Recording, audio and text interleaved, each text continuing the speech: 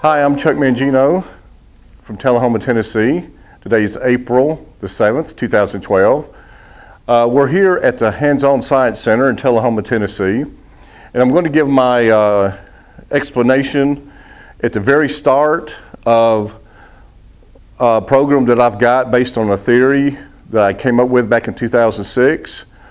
It's uh, Stopping a Tornado Initiative 2012. As of today, the initiative starts.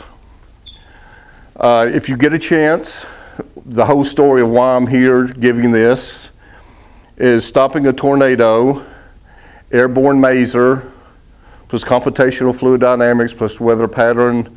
It's on YouTube. It's 14 minutes long, but it tells the whole story of me going through a tornado in 98, uh, how I came up with the theory in 2006, and why I am doing this now.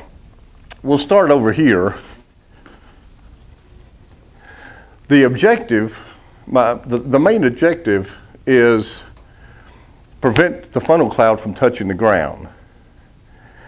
Um, it's basically the, the last 2,000 feet where it does all the damage and so forth. And um, this is our objective here is to stop it here at the funnel cloud before it actually touches down and becomes destructive, as we all know. Um, I have no pictures, I have no videos, no animation. Uh, this is just all freestyle right now. I, am going into a more in-depth later on, but this is just a very basic explanation. That is our objective. How I will do it is first I will take a tornado, not all tornadoes, but just one. Think of the Wright brothers' first flight. Take one, and I will break it down into a mathematical model. Uh, uh, then I will have, uh, I will break it down to a mathematical model. Then I will have a 3D grid, matrix, whatever you want to call it. And I will break those down even to smaller mathematical models. Think of a checkerboard or chessboard. Chessboard is having 64 squares, like this here, 64 squares, just an example. Well, now think of 64,000 squares. Each square is the size of a football field.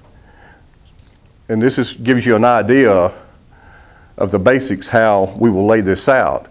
This is from the back of the tornado all the way to the front of it before it gets there. That's the key thing. We want to stop it before it starts, before it touches down. That's the whole idea. Okay, uh, how I would do it is um, with uh, first the airborne masers. Just hypothetically, you've got three 747s, hypothetically, and the first two have got masers on them. Not lasers, masers. Think of the magnetron inside your microwave oven that heats the coffee or the, you know, the sandwich or donuts or whatever. It's not a laser, it's a maser. And I'll go into that much later, later on. The first two will have masers. The third one will have another maser, but the objective of the first one is heat, is a pocket of heat the size of a football field. The, the second one is also, but it's at a different altitude. And, and this is, uh, needs to be drawn out a whole lot more complex, but for right now, the simplicity. First 747 is heat. Second one is heat pocket, size of a football field. The third one is what we call a molecule leader path. Uh, I will not get into that, but think of a, a, continuity, a straight line from this point all the way down to where it would touch the ground. The key word is it would touch the ground, right here. With a combination of those three, we will use computational fluid dynamics uh, think of it with the help of a cluster of supercomputers, a cluster of supercomputers, to be able to um, predict where the pockets of air are going next. Break them down to the size of a football field, but predict where they're going.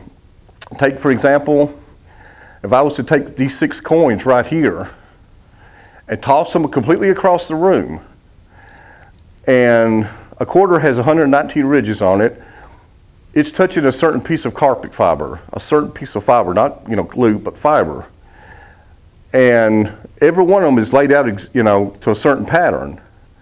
With computational fluid dynamics here, I can take those quarters, those six coins, and toss them across the room a thousand times, and they'll land across the room exactly within a micron every time, based on that theory. But anyway, this is where this would come in. What I'll use is pattern disruption. Up here at this points up here and here ahead of the tornado before it gets there. I want to disrupt the pattern before it gets to it so I can prevent it from actually coming down. So always remember with the computational fluid dynamics in time, we will be able to predict all this. And I want to be able to manipulate it at different spots. The, the molecule leader path I'll get to later. That's, but anyway, here, uh, this is 64 square chessboard. If I, you know, manipulate different patterns at different times, I can stop the final outcome, which is, which is the funnel cloud touching the ground. Uh, the pat pattern disruption is, is a, a, sum of the weather patterns, computational fluid dynamics, and the airborne maser. Uh, with the combination of those, think of um, a Dyson fan, the new fans that's come out. They have a force multiplier, the way they manipulate air. It's very, very impressive. But um, that's another thing that I came up with before I presented this is, um, and I'll go into different patterns later on. Different patterns of the maser when it's shot out will uh, have different manipulating forms or forces upon the pockets of air. It may split the air, it may counter, it may go counterclockwise, clockwise, whatever, go vertical, horizontal. I'll get to that much later. And uh, what I base all this on is the advanced technology we have now, and in, you know, and we will have, and plus Moore's law, which is every 18 months, technology doubles every 18 months. So, but here, uh, when the tornado comes, as if it would come down before, when we put all these in set, all these in place, the funnel dissipates up to the point to where it doesn't actually touch down. And that's, a, that's the point of our stopping point to protect our houses, whatever, family. But this is the objective here is prevent this from hitting here. And like I said, it's the first 2,000 feet of, um, that we want to manipulate, the, the last 2,000 feet, the deadliest 2,000 feet.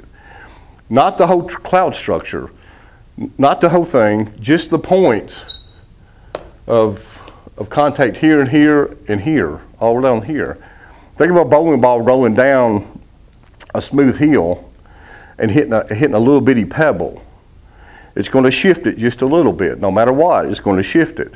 If you put another pebble five or six feet further away in another position, it's going to shift that. Eventually, the ball is going to be going to the right. But anyway, this is the basic introduction.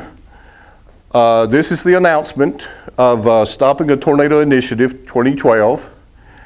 Um, thank you for coming, and I'll have more videos, animation, uh, open for any comments. And I want to thank you again. I'm Chuck Mangino from Tullahoma, Tennessee. Today is April 7th, 2012, Easter weekend. I planned this for this weekend months ago, and we're at Hands On Science Center. I want to thank you.